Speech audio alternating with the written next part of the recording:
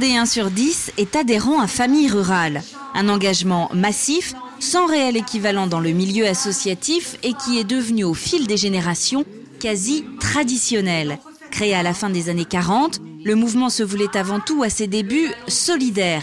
Il fallait aider les Français ruinés après la Seconde Guerre mondiale. Famille rurale, tout d'abord, a été un peu l'instigateur de, mise en place de travail en commun. Donc ça a pu passer par des machines à laver en commun, par des frigos en commun, également par des actions associatives, enfin aujourd'hui que l'on appellerait associatives, qui était la prise en charge des enfants pour aller vers une école, euh, qui était l'organisation d'un restaurant scolaire.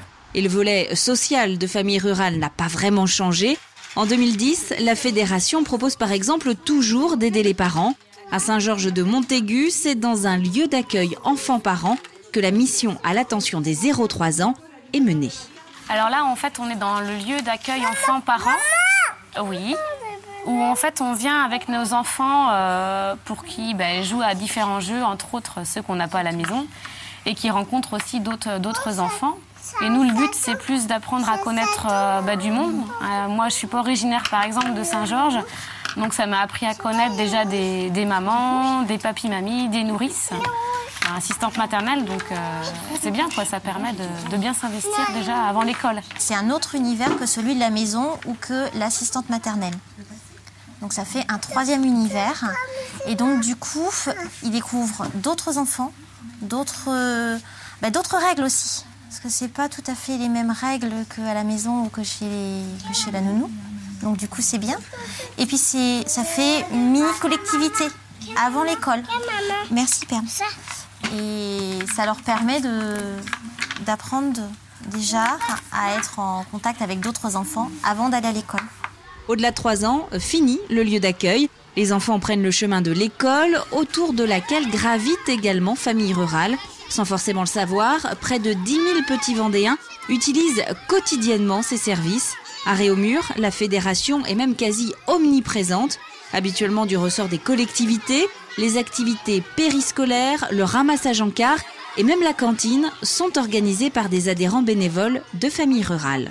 On prépare de A à Z euh, les repas pour la cantine avec, avec une cuisinière et euh, deux salariés euh, qui accompagnent la cuisinière.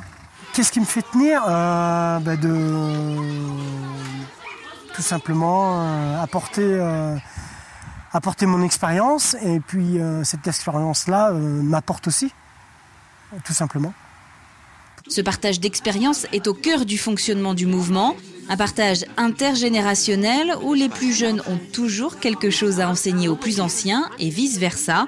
Une tendance caractéristique à famille rurale puisque les associations ont en ce moment plutôt du mal à trouver de nouveaux bénévoles.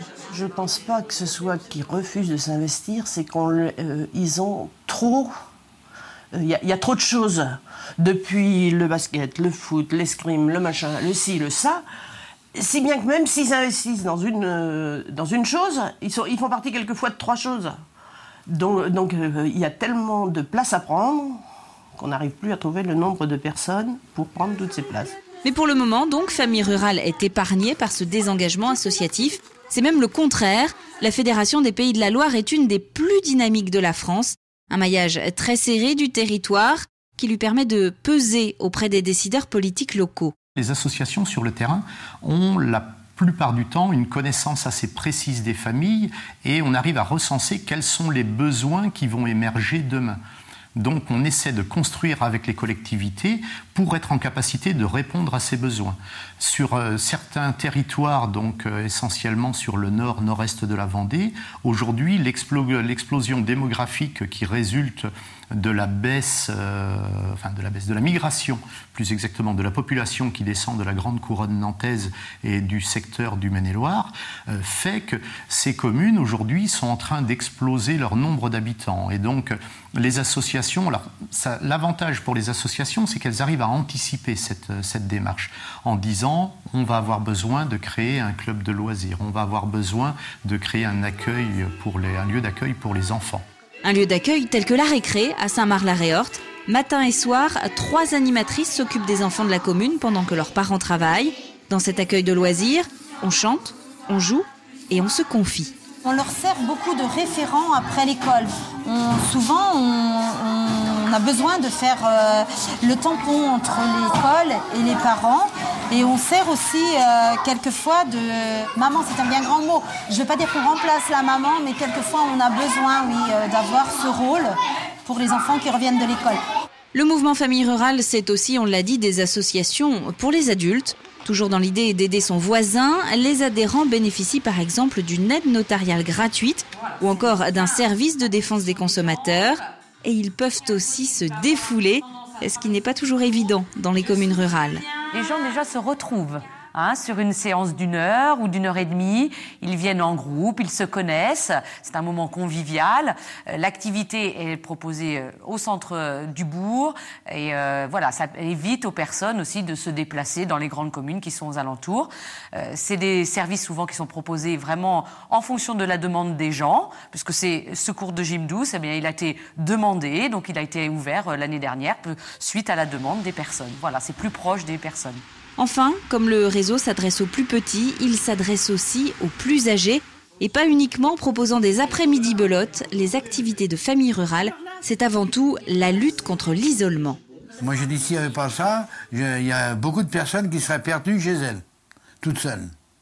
Et donc, euh, bon, le fait qu'il y a des clubs, elles viennent, elles retrouvent d'autres personnes avec qui parler, avec qui jouer aux cartes. On a un monsieur qui doit avoir 80, 17 ans je crois aujourd'hui, qui est en maison de retraite, qui ne participe absolument pas, mais qui serait vexé si on ne lui présentait pas sa carte. Parce qu'il fait encore partie de quelque chose. Faire partie de quelque chose, un sentiment primordial, notamment quand on est confronté au décès d'un proche. Là encore, la fédération essaie d'apporter son aide. Des groupes de parole autour de la mort sont organisés régulièrement les deuils, ça arrive, les, décès. Il y a sur ma commune, enfin plus que sur d'autres, pas plus que sur d'autres, mais il y a trois personnes qui viennent de perdre leur mari et qui sont, euh, dans les 15 jours qui ont suivi le décès, qui sont revenus au, club pour, pour, pouvoir pas être seuls dans leur maison. De la naissance à la fin de vie, Famille Rurale essaie donc d'être à la hauteur de sa mission définie il y a maintenant 60 ans, à savoir représenter et défendre les intérêts des familles son objectif maintenant pour les prochains mois, le faire simplement mieux savoir.